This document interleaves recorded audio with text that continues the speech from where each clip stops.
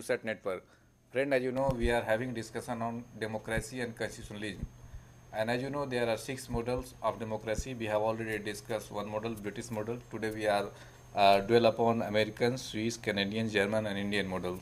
And for discussion on this very topic, we have a renowned uh, political science thinker, Dr. M.P. Singh. He has been uh, uh, in teaching profession for uh, many years and he, he taught in Magadha University, then came to Delhi University and also been uh, head of the Department of Political Science and also have uh, a lecture and as visiting faculty in different uh, university, national and international university and written many books and con- uh, regularly contributed to various national and international journals. And recently, uh, his book uh, on federalism has come uh, to the market, and that has been widely appreciated. His work on uh, federalism uh, in the context Indian and Canadian federalism has been acclaimed world over. So I hope his knowledge and experience on this very topics will help us to understand the democracy and constitutionalism in a new uh, perspective. So on your behalf, I welcome Dr. Singh for EduSat lecture on this very topic. Welcome, Mr. Uh, thank you, Amrendra ji.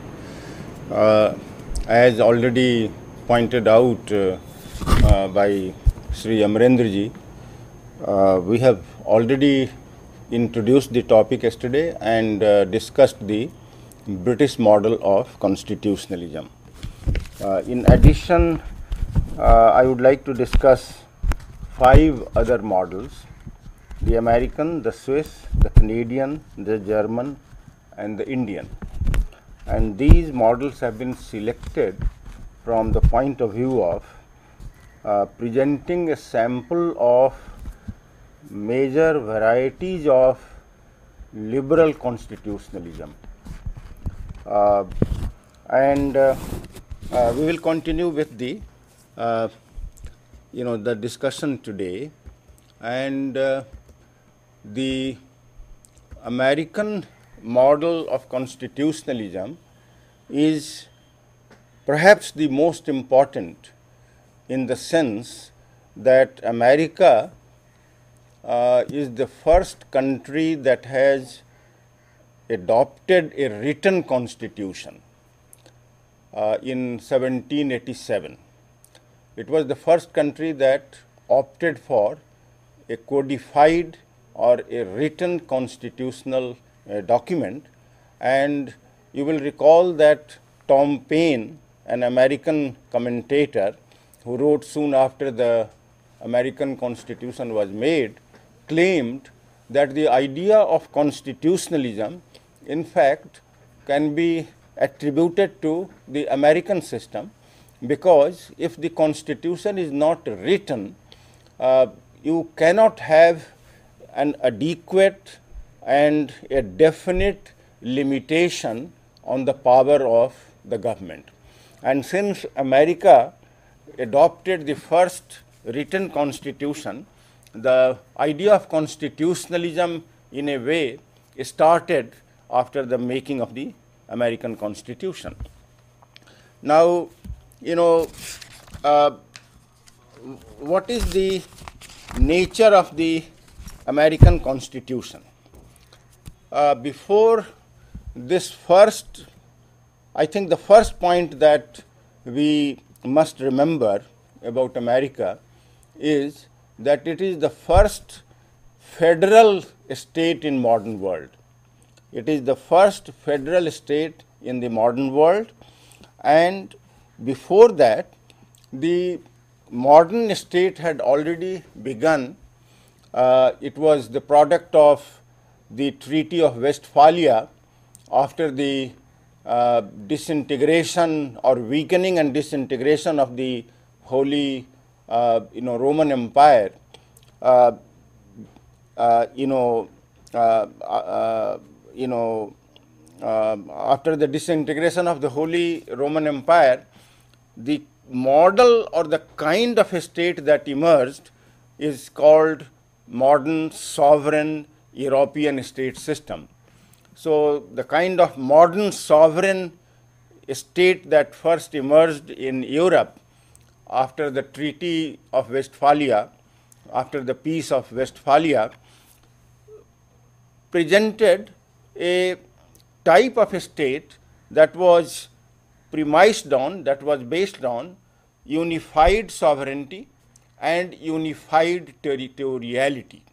The state, uh, the most important attribute of the state, modern uh, European state that uh, was emphasized was a sovereign state, a sovereign state whose authority was supreme within the nation and beyond. And a sovereign state did not accept any limitations on its powers either within, either within the country or externally. Now, this kind and the state had complete control over its territory. So, unified sovereignty, unified territoriality came to be associated with the modern sovereign state. The American Constitution created a new kind of state, different from this, in the sense that America created the first modern federal state based on the division of powers or division of sovereignty, sharing of sovereignty between two levels of government, the federal government and the state government. Before that, there was only one unitary state and sovereignty was not divided between the federal and the state governments. Sovereignty was unified and territoriality was also unified. And so, American uh, constitution created a new kind of a state which divided and made sovereignty shared between two orders of government, the federal government and the regional government or the state government and the territorial uh, attribute of the state also came to be divided at least uh, you know in a major way. Territories of the states were uh, the, the bulk of the territories were controlled by the states and a federal capital region in case of America the uh, Washington DC, Washington DC in the District of Columbia uh, became the federal territory. So, it was a new kind of a state and therefore, American constitutionalism must be discussed with reference to this new kind of state. And another important point that must be kept in mind in case of America is that America created the first presidential federal system of the world, first presidential federal system, a constitution that uh, that was or that is uh, presidential and federal. Compare it with the British constitution that we discussed yesterday. Britain uh, is a case of unitary or parliamentary state without any federal uh, complication and uh, Britain is a parliamentary state, a parliamentary government. So, Britain uh, is parliamentary or unitary state without any federal uh, you know dimension, whereas America departed from the British model and created a new kind of a state uh, whose features now we are emphasizing uh, a presidential federal government, a presidential federal government, not a parliamentary uh, uh, unitary government or parliamentary federal government. Later in the discussion, we would be introducing the category of parliamentary federal government. The, the first parliamentary federal government came to be established by the Canadian constitution later. We are coming to that. So, you know these are some of the uh, basic attributes of the American constitutional system.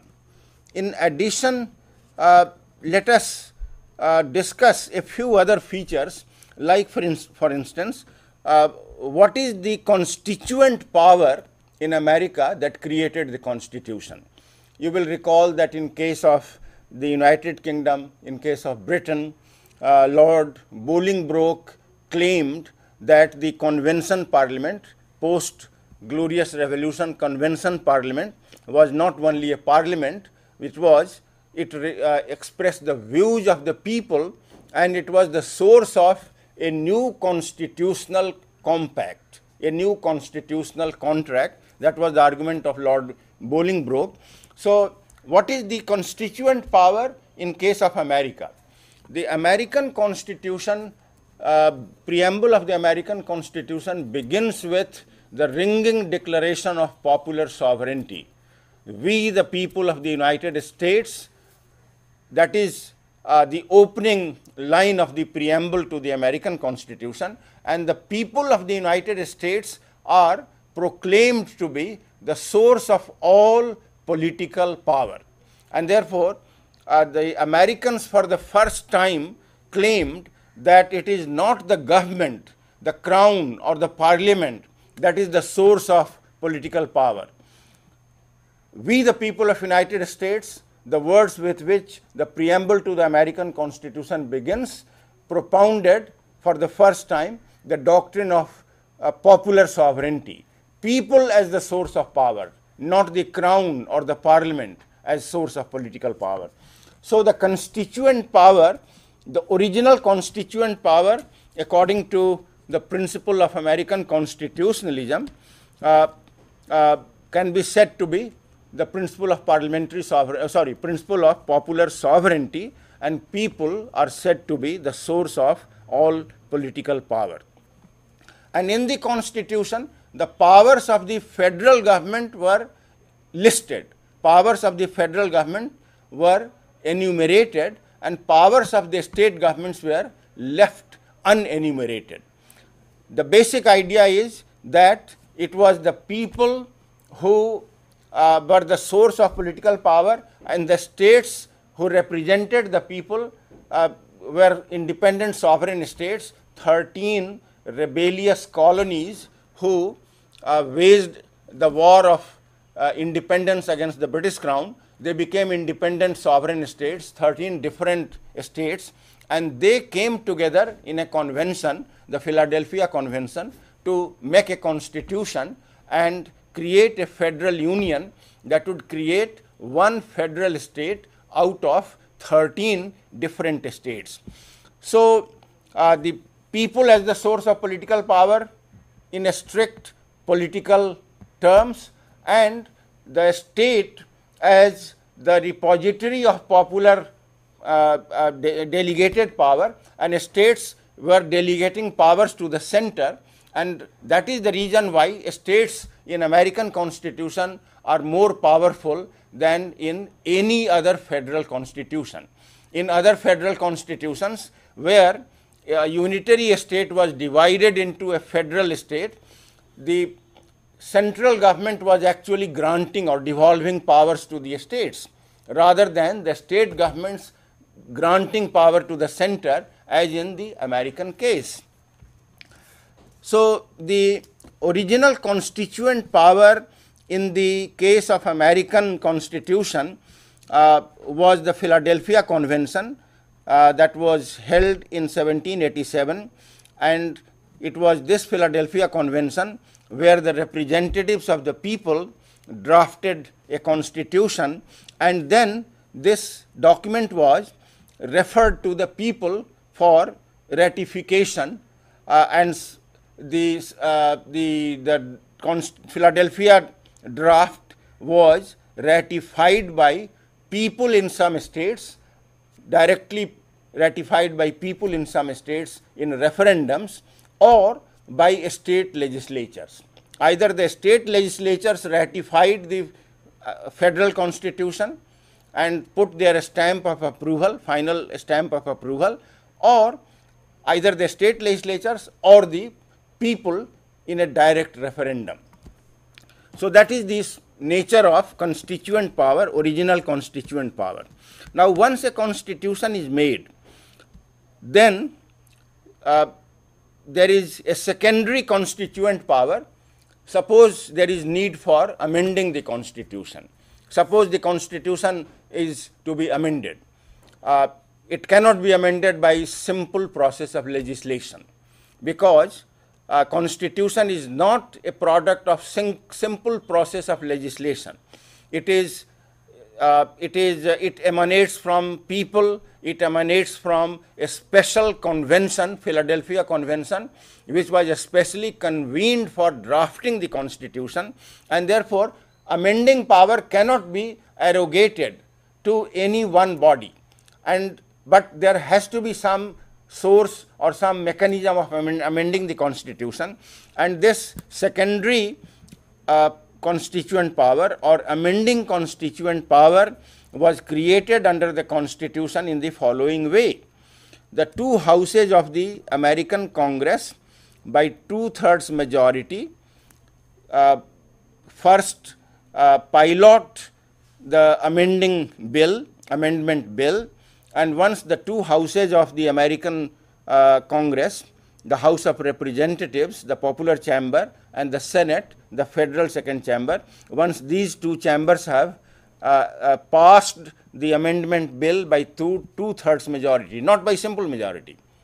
Simple majority is not enough. Amendment process is made especially difficult because constitution is a special contract and it cannot be uh, simply or easily amended like any other piece of law.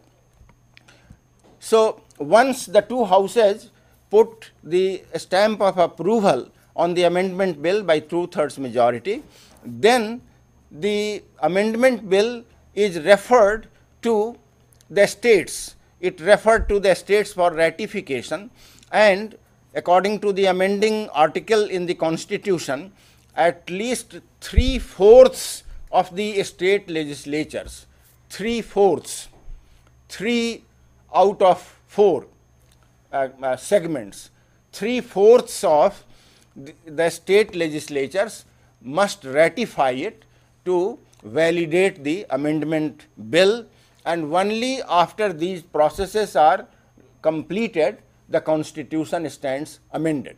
The idea is that a government cannot amend, cannot change a constitution like we change our shirts or like we uh, change any other uh, uh, personal effect.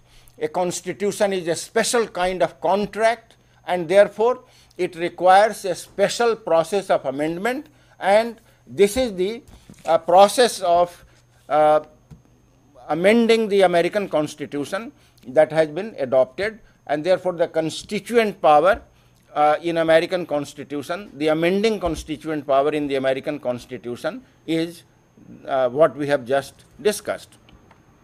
What are other attributes of American constitutionalism? Uh, very quickly, because uh, we have to discuss several other models, uh, the following are the main attributes of main principles of American constitutionalism. The American Constitution is based on the principle of separation of powers. Principle of separation of powers between three organs of government the uh, legislature, the executive, and the judiciary. These are the three classical organs of the government. In, in the uh, American case, the Congress, the uh, President, and the Supreme Court of the United States. So, the theory of separation of powers was borrowed by the makers of the American Constitution from the British political theorist John Locke, who in his treatises, treatises on government propounded some kind of theory of separation of powers. And the founders of the American Republic, who drafted the American Constitution, also uh, borrowed the ideas of separation of power powers from the French political theorist Montesquieu, who wrote uh, a very uh, classic, a very well known classic called The Spirit of the Laws. And the, in The Spirit of the laws written by Montesquieu, elaborate theory of separation of powers is propounded as the basis for a free state that protects the liberties of the people. So, separation of powers is specifically very elaborately adopted in the American Constitution, more elaborately and in a more clear cut manner than other constitutions. The three organs of the government, the Congress, the Presidency, and the Supreme Court, are created as three separate co-equal coordinate separate and coordinate centers of governmental power and power is uh, jointly exercised shared among them and jointly exercised by them this is supposed to promote uh, individual liberty this is supposed to promote democracy another principle that the framers of the American Constitution did not borrow from others, they created it themselves. They, they, they formulated a new theory of federal division of powers, division of powers between the federal government and the state governments. As I just pointed out a short while ago, uh, the Westphalian state uh, was unified sovereign state. Now, sovereignty under the American Constitution came to be divided and came to be shared between two orders of government, the federal and the state. So, federal division of powers was another principle that the framers of the American Constitution propounded, created, and in a book that three major makers of the American Constitution, uh, Alexander Hamilton, uh, James Madison, and John Jay wrote a series of articles in the New York press that were later compiled in a book. Their articles were written with the purpose of uh, uh, propagating the virtues or utilities of the American Constitution so that the Constitution would be ratified by the states uh, when it went for ratification uh, and final approval. So, the Federalist, written by three leading uh, makers of the American Constitution, propounded the theory of federal division of powers. A third important feature of the American Constitution is that it adopted uh, a, the Bill of Rights, a set of fundamental rights or the Bill of Rights. Original Constitution did not have a chapter on the Bill of Rights, but the first 10 amendments that came to be quickly uh, incorporated into the Constitution. The first 10 amendments uh, created a Bill of Rights, the fundamental rights of the citizens or fundamental rights of the people. Uh, now, all these features, if you put them together, uh, you know, a special amending process whereby constitution cannot be easily amended, limits the power of the government to change the constitution at will, separation of powers and division of powers, divides power and creates different centers of political power that control each other. Uh, the three organs of the government and the two levels of the government, federal and the state, they sort of checkmate each other. One uh, controls the other and therefore the idea is that the power of the government would be limited, power of the government would be controlled, and the government cannot become arbitrary or cannot become authoritarian or absolute. Uh, now, so all these things together created a system of checks and balances in the American Constitution. And this checks and balances was further, this system of checks and balances was further strengthened when the Supreme Court of the United States of America discovered the power of judicial review. In the original American Constitution, power of judicial review was not specifically mentioned in any clause or any article of the Constitution in an explicit way. Uh, but the Supreme Court of the United States decided a classic case, a very well known case called Marbury versus Madison. The year the Supreme Court ruled in this case was 1803.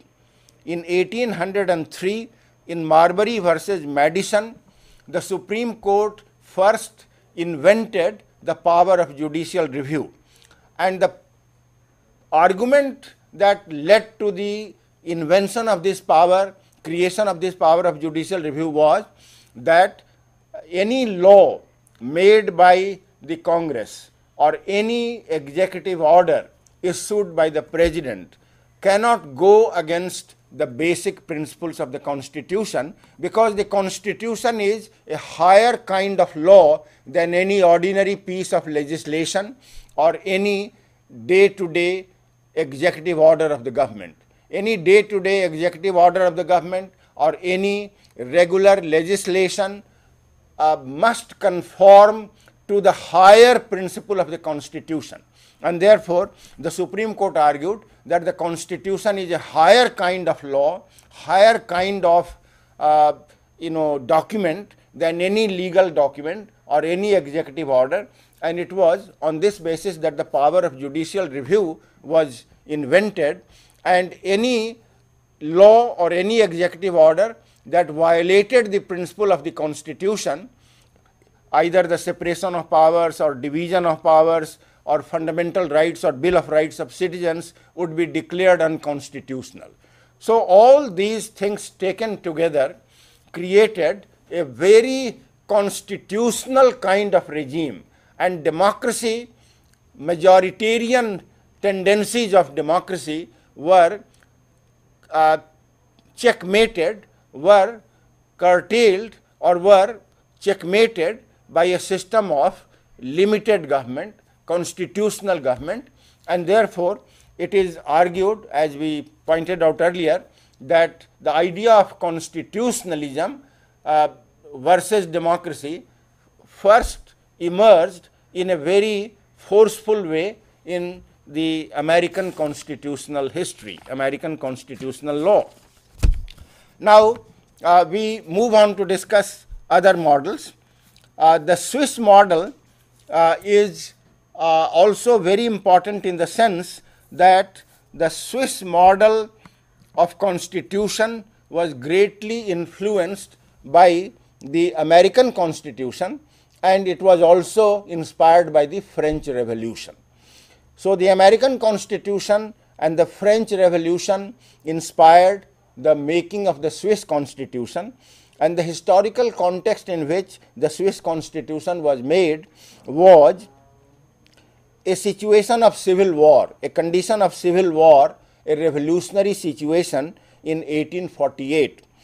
Uh, the Protestant and more radical cantons or provinces of Switzerland. There was a confederation uh, already, undemocratic authoritarian uh, confederation. It was not a fully democratic confederation to begin with.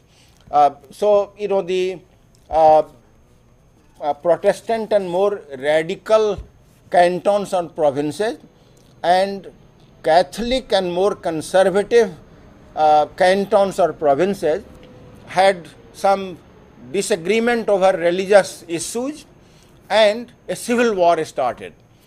Uh, and the civil war continued for uh, about uh, uh, uh, uh 27 days, although the, the, the war-like condition or conflict had existed earlier also, but the civil war was a kind of condensed conflict between the Protestant and the Catholic uh, cantons or provinces of Switzerland and it was in the wake of this civil war that the democratic federal democratic constitution uh, of Switzerland uh, that we have uh, uh, even today with modifications with amendments uh, twice with almost complete overhaul.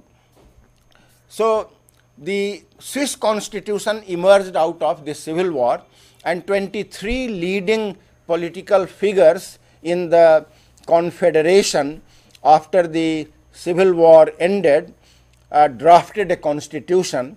And this constitution represents uh, a post civil war agreement or conciliation among the protestant and catholic cantons and a federal democratic constitution federal democratic sharing of powers between the two major categories of cantons that had gone to war, civil war, uh, that war was ended or reconciled by this federal democratic constitution. And uh, uh, the what is the nature of what was the nature of constituent power, original constituent power in uh, case of Switzerland. We just mentioned that 23 leading political figures after the civil war drafted the federal constitution and then this constitution was referred to the Swiss people to be ratified and the popular referendum uh, was held and the constitution was finally approved by the people of Switzerland in a referendum. So, that was the original constituent power in the Swiss case. What is the amending constituent power in the Swiss case? Suppose the constitution is to be amended today or after the first drafting of the constitution, if the constitution was to be amended, what was the uh, nature of constituent power required. The constitution of Switzerland requires nas the National Council, the popular chamber of the parliament and the Council of States, the federal second chamber to agree by simple majority on the amendment bill. If the two houses of the parliament agree on um, an amendment bill by a simple majority, then the amendment proposal is referred to the people by uh, uh, for ratification by popular referendum and therefore people finally put the stamp of approval to any constitutional change that is to be made. Uh, another features of Swiss uh, some other features of Swiss constitution, constitutionalism may be briefly discussed here. Uh, uh, there is equal division of powers between three orders of government in Switzerland. There are three orders of governments, each have constitutional status. In other federations, uh, only the federal and the state governments have constitutional status by and large. In Switzerland, three levels of government have uh, consti uh, regular constitutional recognition constitutional status. All three orders of government are constitutionally validated. Uh, the uh, federal government, the cantonal government or the state governments and the governments of the communes, local political communities in Switzerland are called communes. So, there are three levels of government in Switzerland, federal, state or cantonal, cantons are the states there, federal, cantonal and communal or communes at the local level. And all three orders of government have constitutional status. This is unique. In no other country, the local levels of government have constitutional status. Uh, case of India, uh, we will discuss later. Uh, so, uh, then so, the constitute uh, and then cantons have their own separate constitution. In America also the, the federal in addition to the federal constitution uh, states have their own separate constitution. In Switzerland also uh, the in addition to the federal con constitution each canton or province has a separate constitution and then the communes also have their own constitutional rules that are followed. So, Another important feature of the Swiss Federation is that there is not only equal division of powers between three orders of government, there is also equal division of revenue, equal division of taxes among the three orders of the government. Whatever taxes are raised, they are equally divided between the federal, the cantonal and the communal governments. So, the federal government and the cantonal governments and governments of the communes have more or less equal revenue resources at their disposal.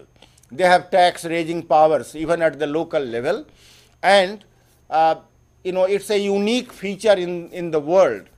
Uh, you know uh, local governments all the world over are generally given a very short shrift when it comes to uh, revenue sharing. A very small fraction of revenue goes to the local governments. In Switzerland, the local governments get equal share with the cantonal and the federal government.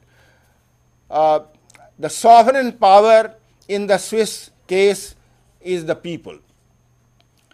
Uh, people are the repository of sovereignty. Uh, three institutions of direct democracy uh, have been instituted under the Swiss constitution.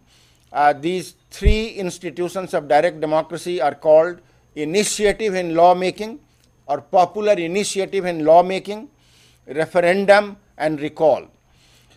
The Swiss people, the Swiss voters, if they if they demand uh, uh, Uh, uh, uh, in terms of a certain requisite number of voters, if they sign a petition, a certain requisite number of voters, if they sign a petition, they can demand that a law must be made by the government and the government will have to make that law under the constitution. So the people can demand the government to make a certain kind of law that the people want. The people have right to demand a certain kind of constitutional amendment they want to be made. So this is the power of initiative enjoyed by the common voter in Switzerland. The second uh, direct democratic institution is referendum. Uh, the Swiss voters can demand uh, a referendum on any important political issue, on any important law, on any important government policy. They can demand that the government should hold a referendum and ascertain the views of the people, what the people want, and the government will have to accept it. The third institution of direct democracy is recall. The Swiss voters can, uh, at least in some cantons, uh, it's not there in all cantons, uh, three out of tw 26 cantons have the institution of political recall which means that the voters can re recall a member of the parliament or voters can recall representatives in the cantonal legislature if they are not satisfied with their performance. Now, this institution of recall is not widespread.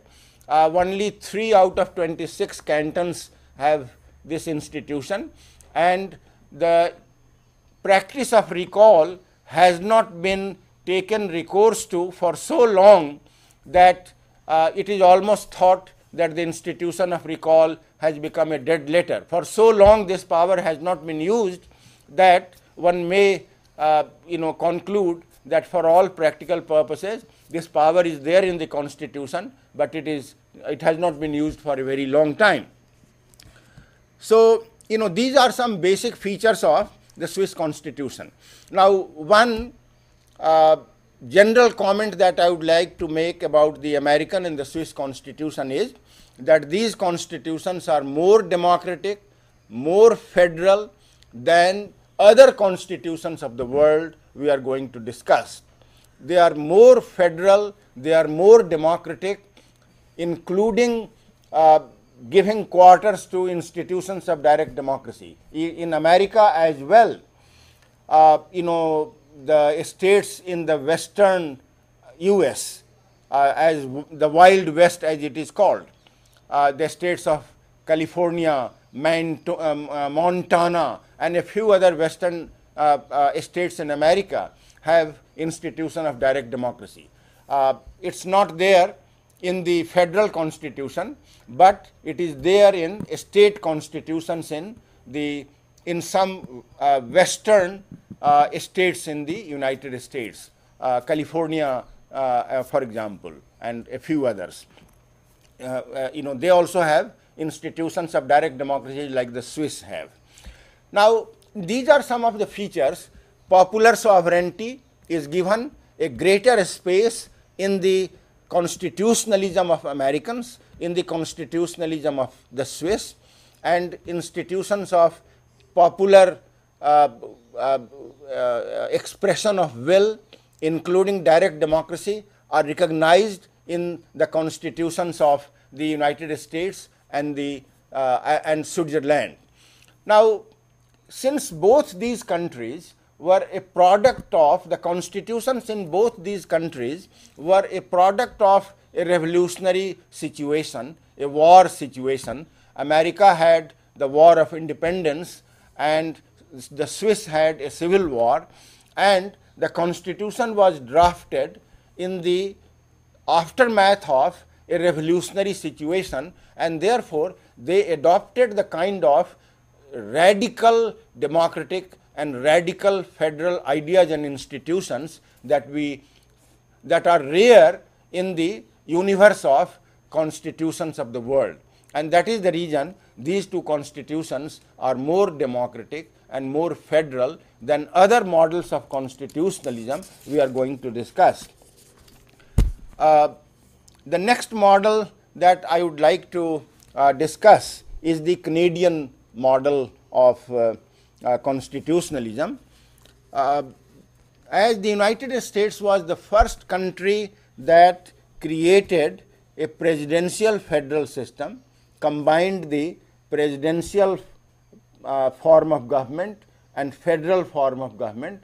Americans for the first time created that kind of combination, a presidential and a federal uh, uh, uh, uh constitution were combined into one. The Canadians for the first time in the modern world combined the parliamentary principle of government and the federal principle of government and uh, the founding provinces of Canada, the, the, the, the original find, founding provinces of Canada that the original founding provinces of Canada that uh, uh, drafted the that uh, made the first draft of the constitution uh, you know the uh, four out of presently 10. When Canadian Federation was made, there were four uh, provinces in British North America. They were all colonies of the United Kingdom.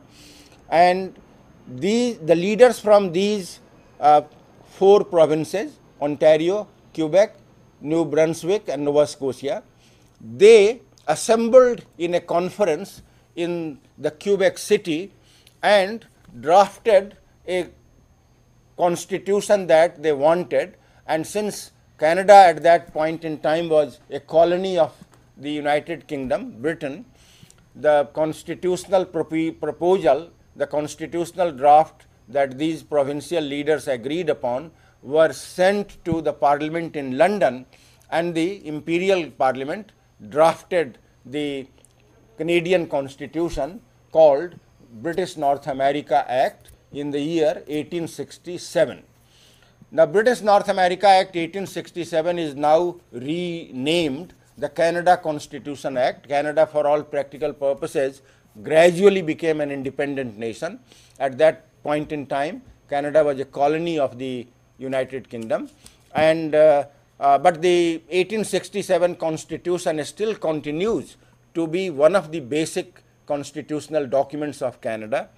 And in addition, Canada drafted a supplementary constitution in the year 18 uh, no sorry uh, in the year 1982 as recently as 1982 can, uh, the Canadian uh, parliament uh, you know the British parliament to begin with and uh, because the BNA Act was drafted by the British Parliament and therefore any amendment to that Act must be made by the original constituent power which was the British Parliament, and therefore that amendment was the, the, new constitution was uh, uh, first, uh, you know, uh, approved by the British Parliament, and then the constitution, the original as well as the 1982 constitution, 1867 as well as 1982 constitutions were then patriated to Ottawa.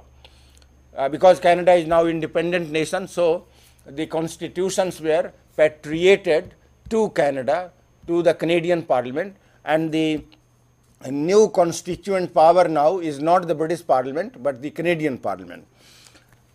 Now, the supplementary constitution that Canada adopted in 1982 uh, is basically known for two new things.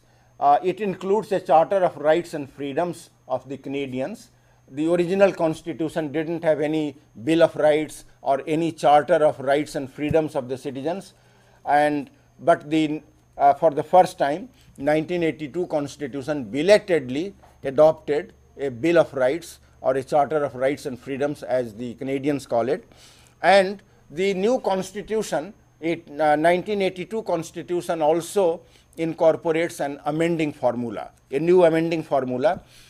And therefore, the supplementary uh, or, uh, you know, uh, uh, new constituent power or uh, you know original constituent power was the British was the Quebec conference Quebec City conference and the British Parliament and now the const original constituent power is the Canadian Parliament and the state provincial legislatures in Canada and the new amendment formula uh, incorporates a process of amendment which can be initiated either by the federal government or by the provincial government and the Canadian Parliament, the two chambers of the Canadian Parliament, the House of Commons and the Senate must agree on the amendment bill by simple majority. And once it is agreed to then the amendment bill is sent to provincial legislatures and uh, uh, seven, at least seven out of ten provinces must agree, must ratify the amending uh, amendment bill in order to make it a valid constitutional amendment. And these seven out of ten provinces that ratify the amendment bill must include at least 50 percent of the population of Canada. So, these are the uh, stringent, these are the complex amendment requirements and therefore, the, the Canadian constitution cannot be uh, uh, it, it, it, it, it can also not be very easily amended. The process of amendment is very uh, rather complex and therefore, it puts limitations or constitutional limitations on the power of the government.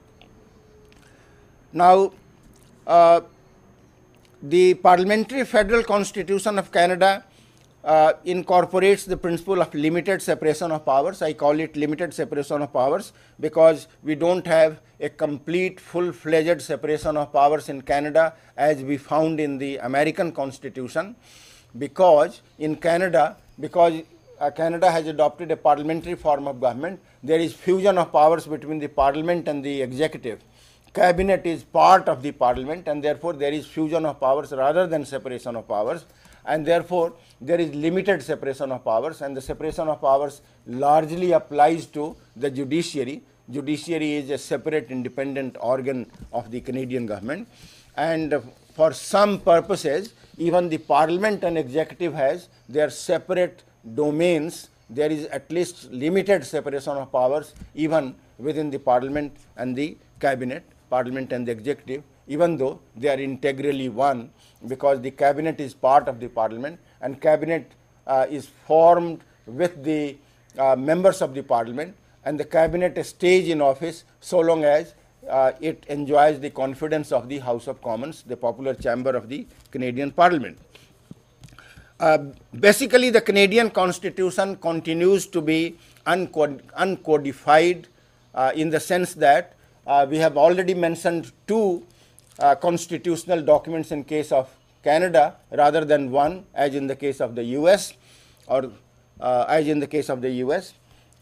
You know, of course, there are even in the US there are federal and the uh, state constitutions, but we are referring by and large to the federal constitution because in all federal systems the state constitutions wherever they are in we don't have federal, we don't have state constitutions in all federal systems, but wherever they are, the state constitutions are supposed to conform to the basic principles of the federal constitution.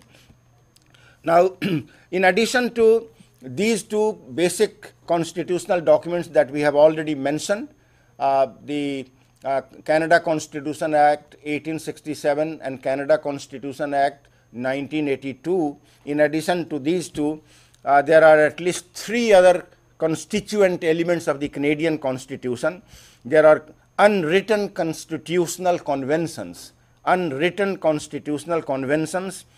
There are royal prerogatives, also unwritten, and there are some principles contained in the preamble to the 1867 Constitution. And since preamble uh, is generally not supposed to be an integral part for legal purposes in the Constitution, uh, you know, uh, it can be discussed separately. So, in addition to the two constitutional acts, Canadian Constitution includes the con constitutional conventions, royal prerogatives, principles contained in the preamble to the 1867 Constitution. And these are very important parts of the constitutional scheme because constitutional conventions, uh, you know, refer to the cabinet, uh, the council of ministers. The Canadian Constitution has no provision of the council. Uh, we still have time. Yeah, yeah. Uh, the Canadian Constitution uh, doesn't refer to the council of ministers of, or the cabinet. It is nowhere provided for in the constitutional text and therefore it is based on customs or conventions of the constitution. Uh, royal prerogatives. Uh, the, the, the order in council issued by the Governor General of Canada on the advice of the Prime Minister to appoint, uh, make important federal appointments, to uh, declare war, to sign treaties with foreign powers. These are also not mentioned in any part of the Canadian Constitution and they are based on conventions of the Constitution, customs and conventions of the Constitution and they are habitually uh, accepted, habitually conformed to, habitually obeyed. Uh, principles contained in the preamble of 1867 Constitution are also very important like for instance the principle of federalism, the principle of democracy, principle of independence of judiciary, all these ideas implied fundamental rights before a charter of rights was adopted in 1982. Uh, there was implied fundamental rights in Canada and all these implied uh, features of the Canadian constitution uh, came from or still come from, many of them still come from the preamble to the 1867 Canadian Constitution. Now, uh, so uh, this is uh, briefly uh, the nature of the Canadian constitutionalism. Uh, the limitations on the power of government are not as far going, as sustained, as systematic as in the Canadian constitution. Uh, uh, we don't find uh, a sustained and systematic limitation on powers of the government in Canada as we found in case of America and Switzerland. And that is the reason we said that the, Canadian, uh, that the American and the Swiss constitutions are more democratic and more federal than any other constitution of the world.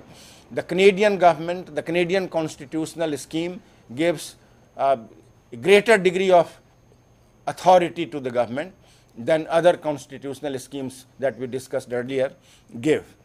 Uh, and therefore, limitations on the power of the government uh, in Canada uh, are similar, nearer to the British tradition and uh, they can be contrasted with the American and the Swiss. But still, Canadian uh, uh, government has very important constitutional and legal limitations on its power powers and therefore uh, Canadian democracy is also sub, uh, you know regarded as a, a, a, a, scheme of constitutionalism, not just a democracy. Uh, even in case of Britain, we discussed yesterday that uh, there is a difference of opinion and uh, uh, the, the more recent view and the more wider, widely shared view is that Britain is also a case of constitutional regime, not just a case of unbridled, uh, you know, democratic power. Then we come to uh, the German model of constitutionalism, and finally we will conclude with the Indian model. Um, how much time do we have? Ten. 10 minutes. Uh, I will I, I, will try to uh, uh, uh, very briefly uh, discuss the main principles of uh, the German model and the Indian model. Uh, Indian model, in fact, I will give greater attention to uh, for obvious reasons. Now, uh, Germany uh, in 1949, after the uh, Second World War, adopted a parliamentary federal government. Uh, as you know, Germany was defeated in the war at the hands of the Allied powers, and the Allied powers in Germany, as in case of Japan, uh, played some role in the making of the constitution. And uh, the Allied powers mandated certain conditions, put certain conditions that must be incorporated in the constitution of Germany. And uh, in course of deliberation of making of the constitution, in, in, in course of constitutional deliberations, Allied powers also intervened uh, at some points, more than once, to ensure that certain features are incorporated in the German constitution. Uh, the, uh, the, it was not the people of Germany who elected a constituent assembly or who uh, uh, nominated the delegates of the constituent uh, you know, convention. Uh, it was in, in fact a, a kind of hand-picked you know, parliamentary council, an institution called parliamentary council that was nominated by the elite with German as well as allied powers who were still there in Germany at the end of the Second World War.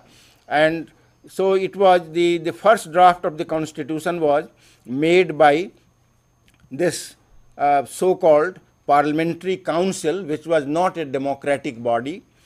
Uh, but once the uh, parliamentary council drafted the German constitution, it was referred to the parliaments of the lands, land or provinces. Uh, provinces or states in Germany are called lands. So the land parliaments, L A N, land or lander, lander parliaments, uh, you know, got the draft of the constitution once it was uh, it, it was made by the parliamentary council, and they finally ratified. They finally ratified the German constitution, and these lander parliaments, provincial parliaments, were elected by the Germans, democratically elected by the people. And if democratic legitimacy was lacking in the case of the uh, uh, you know parliamentary council at the top, at least ratification had some democratic legitimacy because the lander parliaments that ratified the draft of the constitution were democratically elected by the Germans. Uh, amendment to the constitution. What is the uh, you know uh, present constituent power for purposes of amending the German constitution? It is amendable. It is amendable by uh, you know the two houses of the uh, parliament, German parliament, uh, the House of Representatives and the Senate and uh, and, and uh, there is no process of popular ratification. Uh, certain amendments are inadmissible. The German constitution uh, prohibits certain kinds of amendments, like for instance, the federal character of the constitution cannot be amended, democratic character of the constitution cannot be amended, fundamental rights of the Germans cannot be abridged. You know, these are limitations on the amending power and there is a unique federal second chamber in the uh, Bundesrat or the second chamber of the German parliament and there is a Kelsenian Supreme Court which is different from the Marshall Supreme Court in the United States or the Supreme Courts of par Commonwealth parliamentary federations like Canada, Australia, India. So, Germany has a special kind of Supreme Court uh, whose judges are elected by the members of the parliament. Judges are elected, the constitutional court which interprets the constitution is elected by the uh, you know two houses of the German parliament. So, these are some of the special features of the German constitution. Now, finally, the Indian model of constitutionalism uh, is our major concern and uh, we have discussed other models mainly to highlight the special features of the Indian model. Uh, India is a variant of Commonwealth Parliamentary Federation. Uh, if any two constitutions are more similar, it is the Canadian and the Indian. Indian constitution is largely modeled after the Canadian constitution and therefore Canada and India represent the typical parliamentary uh, uh, typical parliamentary federation uh, that is closer to the British principles of government. The constituent power in case of India uh, was that there was legal transfer of power from the British Parliament to the Constituent Assembly of India, legal transfer of power from the British Parliament to the Constituent Assembly of India. This Constituent Assembly of India was not directly elected by the people, it was elected by the provincial legislatures who were already in place under the Government of India Act 1935. So, the provincial legislatures elected the members of the Constituent Assembly and the Constituent Assembly largely acted as an independent national agency by the time the final constitution came to be drafted. Uh, British uh, principles that were there originally like in the form of the cabinet mission plan, they were all gone and the parliament and the constituent assembly of India proceeded to draft an Indian constitution most in independently, uh, almost, not almost, uh, entirely as an independent uh, constitution making body at the end. Uh, now, but you know this legal transfer of power uh, was made the transfer of power was legal, there was no revolution, there was no war, as in case of US and Switzerland. But this legal transfer of power came at the end of a large nationalist struggle, a freedom struggle in which Gandhian uh, satyagrah, methods of Gandhian satyagrah was, were used freely and therefore India came to have a mixed constitutional heritage of uh, constitutionally uh, formed system of government along with a heritage of uh, nationalist struggle, freedom struggle and Gandhi looms large in that heritage with his idea of civil disobedience and satyagraha. Although the Constituent Assembly practically rejected the idea of Gandhian satyagraha, if you read the last speech of Dr. Ambedkar, concluding his concluding speech in the Constituent Assembly, uh, specifically, specifically mentioned that now it's time that we abide by law, abide by the constitution and forget about Gandhian methods of uh, satyagraha or breaking of law uh, for whatever noble purposes. But at the same time, I must point out that uh, even though the idea of panchayats, powerful panchayats was rejected by the Constituent Assembly. Gandhian panchayats, uh, the idea of Gandhian panchayats as the source of power uh, was practically rejected by the Constituent Assembly. Panchayats did not become the source of popular sovereignty as in case of uh, the Swiss uh, confederation, but still uh, panchayats and the municipal councils uh, came to be constitutionally sanctioned by the 73rd and 74th constitutional amendments, although uh, legally they are still under the will of the state legislatures. Because amendment uh, the constitutional amendment is a kind of uh, ideal a kind of uh, model act which the state legislatures are prompted to legislate within their own jurisdictions and the local governments come under the state's subject. Amending power, uh, the uh, amending power, the uh, amending constituent power in case of India is firstly some parts of the constitution can be amended by the parliament alone. Some parts of the constitution, particularly the federal parts, can be amended by the two houses of the parliament by two thirds majority, a special majority, not simple majority, and then the amendment bill goes to the state legislatures where at least half of the state legislatures must ratify to validate the amendment bill. And only then the constitution will stand amended. Originally, there was no judicial review of constitutional amendments in India, but beginning with 1973, the Kesavananda Bharati judgment of the Supreme Court, constitutional amendments have now become subject to judicial review. Originally, the Supreme Court and High Courts in India reviewed only parliamentary and legislative laws and executive orders. Now they also review constitutional amendments. Uh, this is a new power that the judiciary has invented since 1973 and consolidated in a series of later judgments.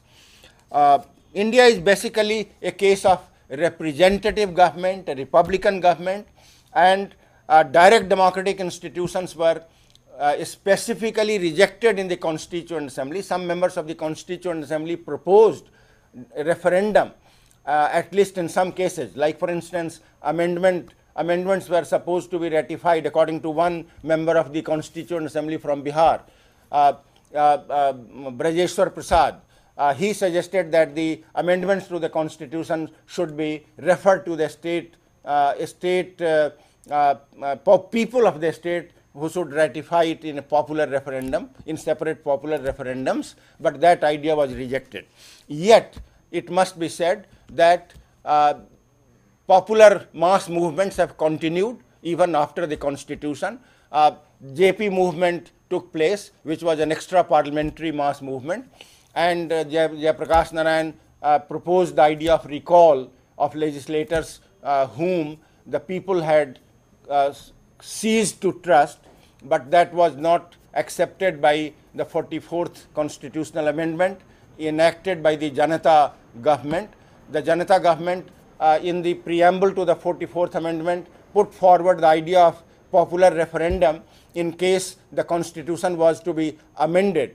Uh, if some crucial parts of the constitution, if they were to be amended, amending fundamental rights, amending in independence of judiciary, and amending federal features, amending democratic character of the constitution. These were supposed to uh, require uh, popular referendum, approval in a popular referendum according to the preamble to the 44th amendment, but finally the 44th amendment did not amend the amending article of the constitution uh, 368 uh, and for that reason uh, the 44th amendment is a kind of ambiguous document that refers to referendum, but the amending article of the constitution did not incorporate the idea of the refer uh, referendum, but uh, idea of recall referendum are now being uh, propagated by a new movement uh, led by Anna Hazare and his cohorts. The,